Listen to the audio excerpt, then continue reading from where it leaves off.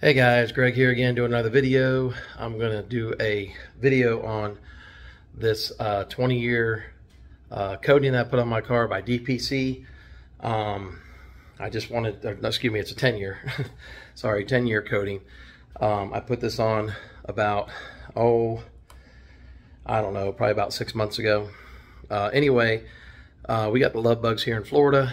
And so with the love bug season being this week, um, her car got kind of plastered with a few of them, so I'm going to go ahead and um, I'm using O&R.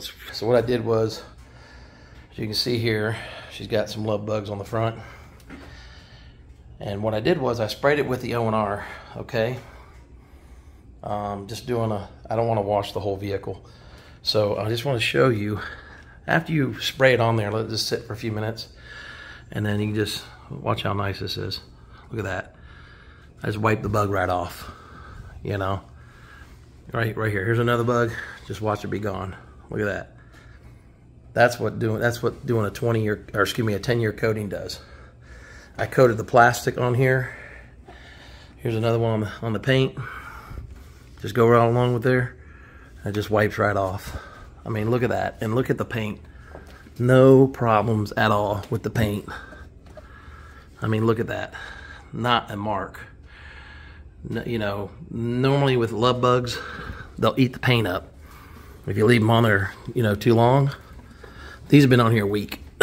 so I just want to take a minute and just show you how nice that coating by DPC does. I mean, look at that. And here's some on the plastic. Now, I have a different coating on the plastic. That one's by Dura Coatings.